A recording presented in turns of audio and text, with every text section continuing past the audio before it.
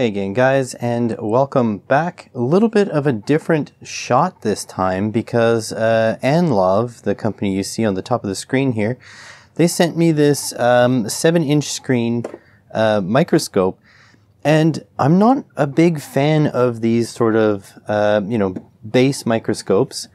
Um, but this one is actually pretty cool. There's a few of them that are just like it and Annlov actually has uh, quite a few uh, different types of, of microscope. This one is actually pretty impressive. So the first thing is you don't need any tools to set it up. All you have to do is you twist, um, you basically just twist this thing onto, onto the screw and then you screw this down as tight as you can. And the base is a little stiff, but it does tilt back and forth, which is really important. Uh, over on the side here, you have a uh, micro USB, which you use to connect to your PC or to charge the battery inside. There's a battery. You don't need this plugged in, which is pretty awesome. You've got a um, micro SD slot here. You've got the uh, LED brightness toggle here. And on the other side, absolutely nothing. So there's a couple of little missing features on this thing, but before talking about that, let's just talk about what it does have. So let's do this peel.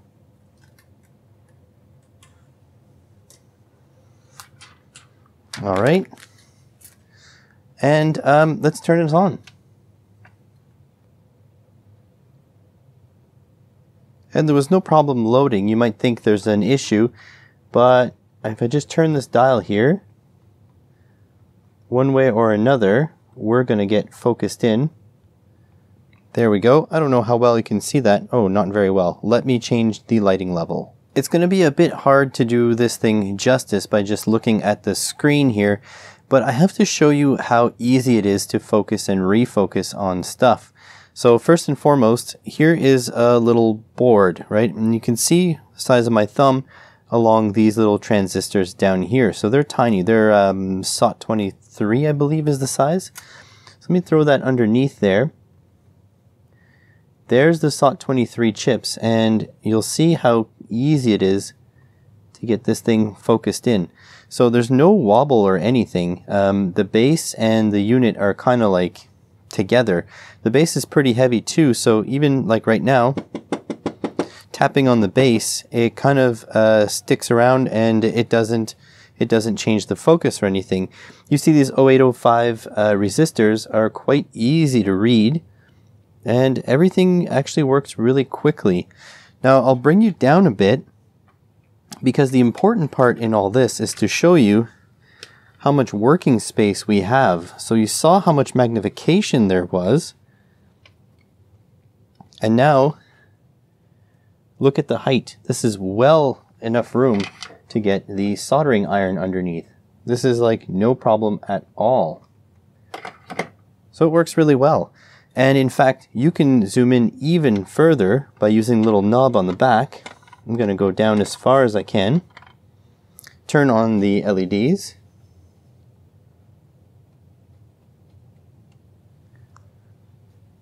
And then I'll bring you up. Way up. Okay, so we're out of focus right now. Watch this. Just going to turn until we get this thing in focus.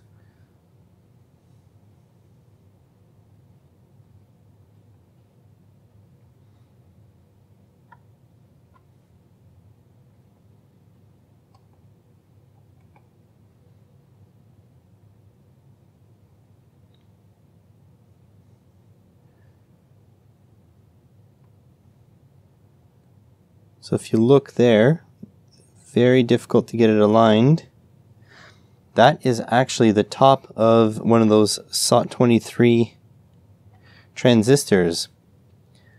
So that thing is absolutely tiny.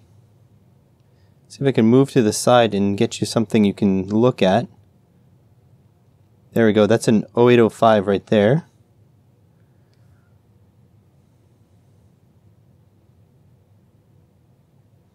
So you can zoom in big time. You can zoom in so far that you can see the individual balls on uh, solder paste if you really want. You can check your uh, solder connections. There it is right there. You can tell that it's making nice contact. And on top of that, you can actually tilt the whole unit back because it's on a tilting stand and then refocus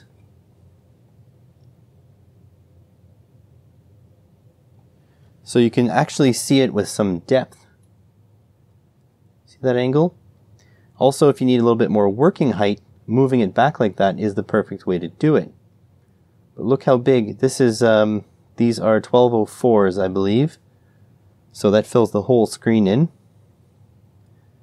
There's the SOT23 right there. So let's say we want the name of this. I'm just going to try to keep it in frame here.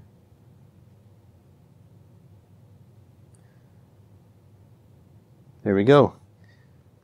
A2SHB. So you can easily look up that chip. There's another one. BB3A N620. And still, this is probably about an inch, you know, two and a half centimeters.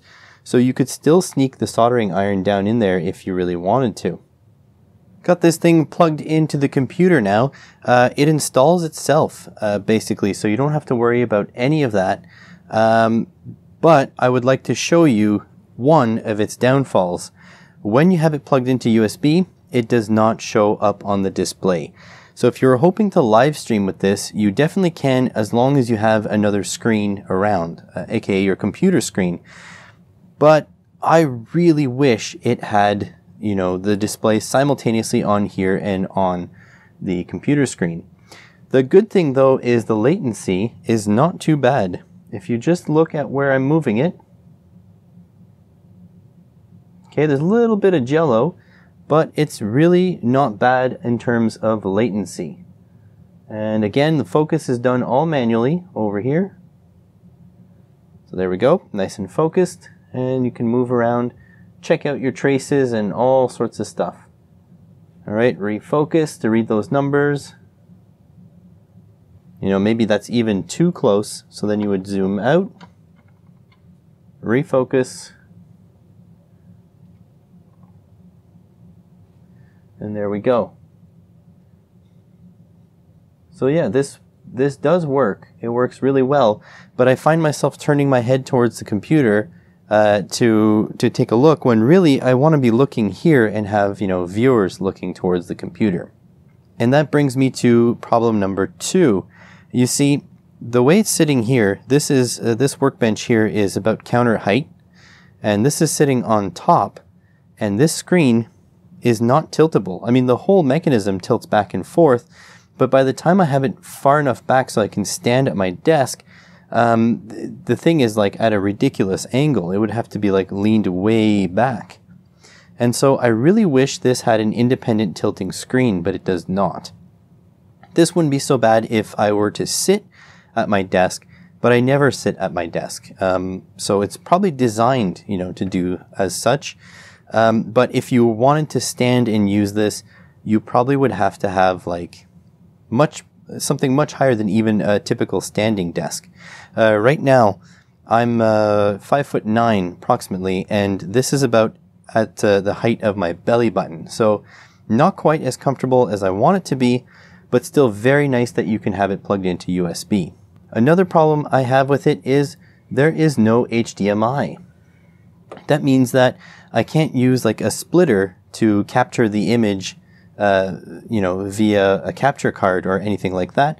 Um, this is literally all or nothing. You either have this plugged into your computer or you do not and you use this screen. One thing it does really well at the same time as having the screen active is recording. So um, you see the little icon on top here? That's a little um, video camera. And if you press D, you'll cycle into a regular picture camera. And then you press D again and you see this landscape photo. Oh, well, if it's empty, it's a landscape. Here it looks like a little play button because that's actually just uh, a recording. Um, and so you put the, uh, the micro SD card on the side. Now it's very tight to the case. So I actually had to use the side of the board to push the SD card in. And I have to use the side of the board to push it back. You push it back in to get it out. And I use uh, tweezers to take it all the way out. It's just, maybe it's because I have sausage fingers, I don't really know. But I'm going to switch this into video mode, and you press OK once, and then up here you see it's recording, and this LED will flash. And now I'm just going to move the board around just to show you the quality. And I'm going to do a couple things like, um, you know, recenter the focus and stuff like that, just so you can get an idea of the type of recording that you can get out of it. You can take a look at the solder here. And uh, don't forget that everything is adjustable, so you can actually tilt this thing way back and have a look at the, you see the, the solder right there. You can zoom into it by bringing it down, readjust the focus. There you go. So you can get a good look. Actually, you see there's probably a crack right there. So that's really interesting to see. You can move around again. I do like having this tilted because then you can really get a 360 inspection on all your solder joints. And if you pay attention to the screen, it's easy to keep your component kind of centered on the screen. So there we go, taking a look at the leg. Gonna move around, check some more solder joints. That looks really nice. Check the solder on our uh, SOT23 packages. Like that. And uh, it also has little arrows on it, which you can do digital zoom. But I'm not a fan of digital zoom because typically it erodes quality. It's just if you need to get to, to look a little bit closer, might help you out. You can see clearly two different quality screen printings on these little resistors. And then to stop the recording, you just press the OK button and there you go. Back to reality. So it's really nice that the screen stays like this the whole time. Now I'm going to take a picture as well just to show you the quality of that. Same deal. You just press OK, it takes the photo, and then you can go see it again in the replay. So there's the photo there. And maybe electronics is your thing, maybe it isn't. Um, there's plenty of things you can do that aren't electronics, like taking a look at uh, Queen Elizabeth's eyeball there. Just get it all situated. There there's one. There's the other. Um, so you could do all sorts of like inspection stuff. Look at that. Look at these uh, zigzags on the very edge of the bill really fancy stuff fancy yourself a pearl necklace you can take a look at that too she's wearing a pearl necklace get your head out of the gutter so yeah, this is the Annlov AM03, and I think it's a fantastic microscope. Um, the price isn't all that high. Um, if it had a couple of those extra features, I think this thing would be perfect. But as it is, it's pretty damn good, and uh, not that bad of a value either. Check out the affiliate links in the description if you want to get yours. It supports the channel, uh, and it doesn't cost you a thing. Thanks for watching.